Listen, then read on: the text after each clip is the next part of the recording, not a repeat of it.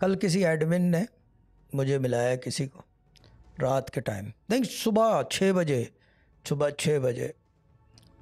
अब ये इंटरेस्टिंग चीज़ है, जो मैं कहता हूँ ना कि फूकों की दुनिया से निकलो और पढ़ने की दुनिया में आओ।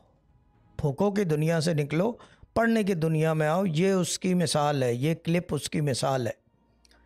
चीज़ ये है कि क्या कहते हैं खातून ने उनका बच्चा है स्पेशल नीड्स उसका बच्चा है, उनका बच्चा है सॉरी उनका बच्चा है स्पेशल नीड्स और जो है, क्या कहते हैं, उन्होंने क्या किया? कुरान पढ़ रही थी उसी कमरे में, उन्होंने कुरान पढ़ के फूक मार दी और बच्चा बिगड़ गया।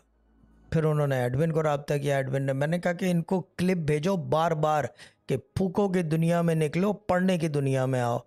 मैंने बाजी को एक बात कही, क्योंकि रम्ज़ की बात थी, क्योंकि ये फूकों का जो सिस्टम है ना, मुझे समझ में नहीं आता।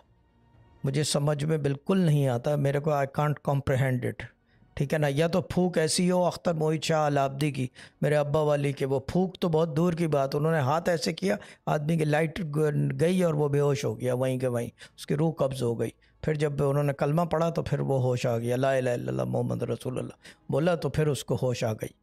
इस तरह की हो तो वरना ये कि सब बेकार है, सब ढोंग है, सब तमाशा है। नाउ द थिंग इज़ कि क्या कहते हैं? मैंने उनकी थोड़ी सी पार्टी की। मैंने कहा कि इसके बजाय आपने फूक मारते, आप हाथ उठा के अल्लाह की बारगाह में उस बच्चे के लिए दुआ करते, हो सकता है वो कबूल हो जाती। क्योंकि जब ये कबूल हुई है फूक मारी बिगड़ गया तो फिर वो भी कबूल हो सकती थी।